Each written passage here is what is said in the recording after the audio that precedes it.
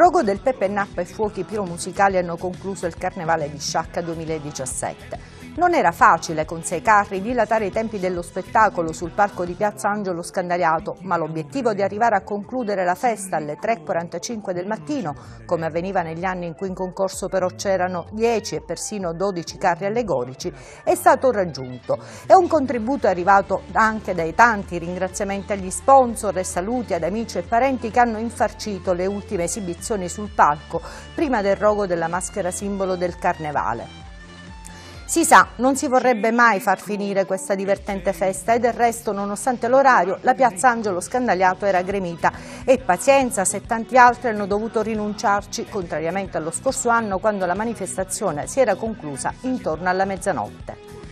Una bella edizione, quella che si è appena conclusa e non era facile viste le premesse. La 117esima edizione del Carnevale di Sciacca un record lo ha sicuramente stabilito, quello di aver assicurato la copertura finanziaria all'evento con l'approvazione del bilancio solamente a due settimane dall'inizio della festa e in un contesto che non è più il caso di ricordare.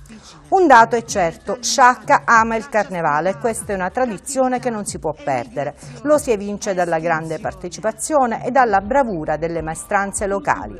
Belli, veramente belli i carri allegorici in concorso quest'anno, per le decorazioni artistiche, l'innovazione nei movimenti, la qualità complessiva che hanno assicurato ai carristi in pochi mesi di lavoro e nelle condizioni precarie dei garage dove sono loro malgrado costretti ad operare.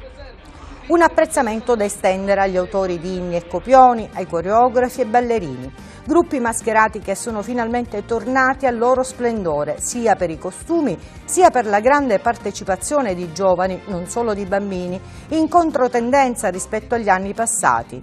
Ed è questo il divertimento che dovrebbero privilegiare gli adolescenti saccensi piuttosto di vedere il carnevale come l'ennesima occasione per ubriacarsi. Un tasto dolente questo, che persiste e che al di là delle campagne di sensibilizzazione va attenzionato probabilmente in maniera diversa e non solo durante i giorni della manifestazione carnascialesca.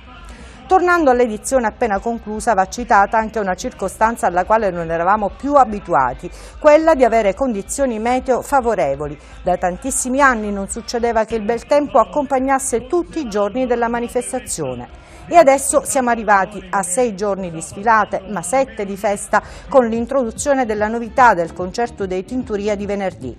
Anche il doppio fine settimana, introdotto lo scorso anno proprio per l'esigenza di recuperare le giornate di spettacolo annullate a causa della pioggia, quest'anno può considerarsi riuscito e consolidato. Ma il dilemma alla fine rimane sempre lo stesso. È un carnevale per i saccensi o per turisti e visitatori? Nel primo caso va tutto bene, volendo si potrebbe intervenire giusto per risparmiare qualcosa da investire nelle tante altre esigenze della città e perché no per altre manifestazioni come l'estate saccense. Ma se la velleità è quella di un carnevale per visitatori e occasione di grande ritorno economico, allora tante cose ancora dovrebbero essere cambiate. Non è sufficiente lo sforzo di essere riusciti nelle due domeniche a posizionare i carri in parte del centro storico. Quanti sin dal mattino sono arrivati a Sciacca hanno visto ben poco di quello che è lo spettacolo dei carri in movimento, delle musiche, dei balli, soprattutto se hanno lasciato la città in prima serata. Almeno nelle giornate di maggiore affluenza, il sabato e soprattutto la domenica, l'inizio della sfilata dovrebbe essere anticipato, consentendo alle tante persone che hanno scelto di venire a Sciacca di assistere realmente allo spettacolo del Carnevale, che trova la sua massima espressione nelle esibizioni sul palco di piazza Angelo Scandaliato. Poi la festa per i saccensi potrebbe proseguire fino a tarda notte, magari invertendo l'attuale organizzazione, dando spazio in seconda serata e non alle 19 alle performance dei gruppi musicali che ripropongono gli inni storici del Carnevale.